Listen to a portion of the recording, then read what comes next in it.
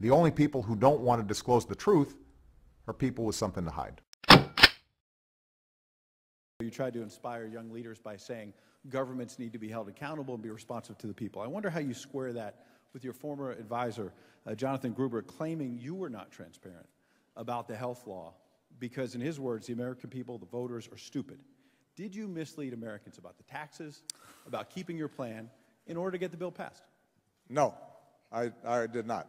Uh, I, I, just heard about this. I, I get well briefed uh, before I come out here.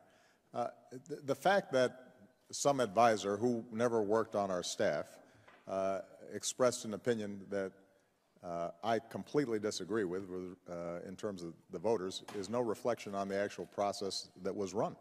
We had a year-long debate, Ed. I mean, go back and look at your stories.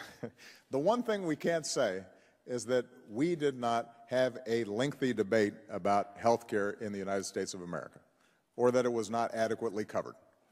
I mean, I would just advise all of every press outlet here, go back and pull up every clip, every story, and I think it's fair to say that there was not a, a provision in the health care law that was not extensively debated uh, and was fully transparent. Thing that's real cost control that we know it'll work, go after this. Now the problem is it's a political nightmare, and people say no, you can't tax my benefits. It feels like so what we did a lot in that room was think about, well, how could, talk about, well, how could we make this work? And Obama's like, well, you know, I mean, he's really a realistic guy. He's like, look, I can't just do this. He said, it's just not going to happen politically. The bill will not pass. How do we manage to get there through phase-ins and other things? And we talked about it. Um, and he was just very interested in that topic. And once again, that ultimately became the genesis of what's called the Cadillac tax. Powerful Republicans in Congress say momentum is building for new hearings on whether the White House intentionally misled Americans to pass Obamacare. The scandal erupting again after video surfaced of a top Obamacare architect and White House advisor saying Americans are too stupid to know what's good for them, so they had to be tricked into accepting Obamacare. Now, for at least the third time in as many days, new video of Obamacare advisor Jonathan Gruber surfaced with Professor Gruber explaining why you're all so stupid. It's a very clever, you know, basic exploitation of the, of the, of the lack of economic understanding of the American voter. You just don't understand. But thank God we have Professor Gruber to explain it to us. Trace Gallagher walks us through it. Trace?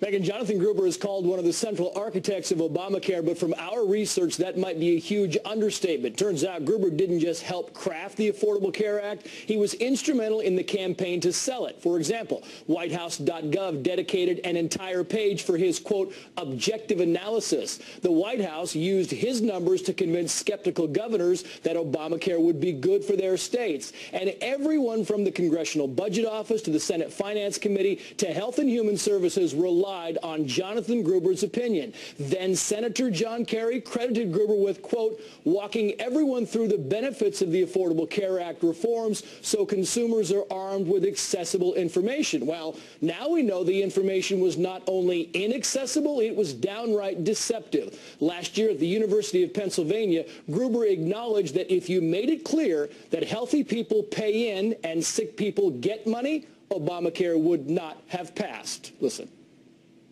and basically, you know, call it the stupidity of the American voter or whatever. But basically, that was really, really critical to get anything to pass. So instead of transparency, you get wool over the eyes. Gruber now calls his statements speakos, you know, like typos, except he speakoed again and again. Last year at Washington University in St. Louis, he was bragging about the bait and switch, where instead of taxing policyholders, you tax insurance companies, knowing full well that insurance companies would pass along the cost to, yes, the policyholders. Listen. We said, well, that's pretty much the same thing, but why does it matter? I said, you'll see. And they were both in that pass. The American voter is too stupid to understand the difference. And all those who once sang his praises apparently now have a, a bit of laryngitis.